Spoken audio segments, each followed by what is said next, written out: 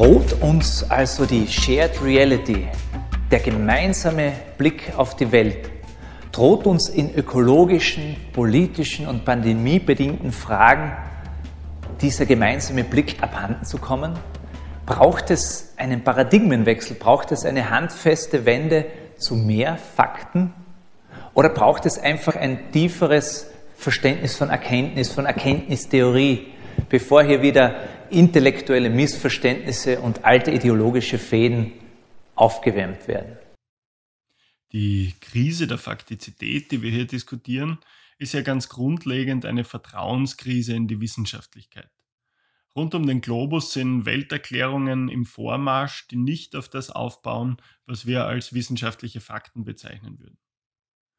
Die Versuche, dem Konstruktivismus, dem Dekonstruktivismus oder vielleicht auch dem Posthumanismus die Schuld für diese Entwicklungen in die Schuhe zu schieben, kommt mir aber ein Stück weit vor wie das Argument, dass die vielen Tests an der Corona-Krise schuld sind.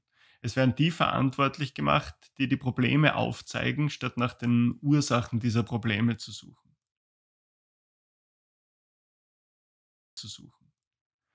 Eine mögliche Ursache sehe ich in dem, was Ajahn Apatorai in den letzten Jahren immer stärker als die Unglaubwürdigkeit des westlichen oder ganz besonders des europäischen Universalismus beschreibt das globale Bild, das wir aufgrund moderner Informationstechnologien immer besser und immer stärker haben, zeigt ganz klar, dass wir jenseits unserer eigenen Grenzen, unseren eigenen universalistischen Werteansprüchen nicht gerecht werden.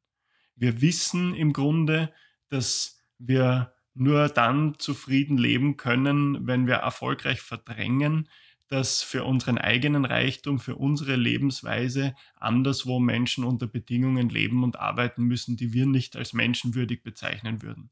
Unser Universalismus gilt also ein Stück weit nur innerhalb unserer eigenen Grenzen und wir sind nicht fähig oder nicht willig, daran wirklich etwas zu ändern.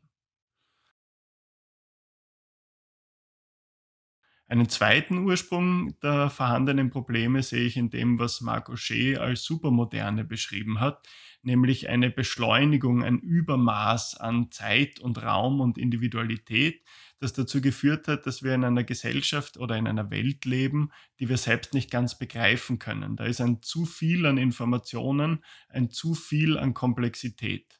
Und sozialwissenschaftliche Forschung der letzten Jahre zeigt immer wieder, dass es ein sehr starkes Bedürfnis bei vielen Menschen nach einer überschaubaren, nach einer erklärbaren Welt gibt. Und genau das ist es, was PopulistInnen und auch natürlich Verschwörungsnarrative den Menschen liefern. Während also Konstruktivismus, Dekonstruktivismus, Posthumanismus das kritisieren, was als objektive Fakten bezeichnet wird und aufzeigen, dass die Strukturen dieses Denkens oft einer eingehenden Kritik nicht standhalten und damit die Welt natürlich noch komplexer machen, machen Verschwörungstheoretikerinnen und PopulistInnen im Grunde genau das Gegenteil.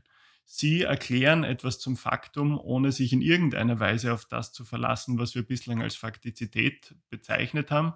Sie erfinden ihre eigenen Wahrheiten nach den Messlatten ihrer eigenen Ideologien.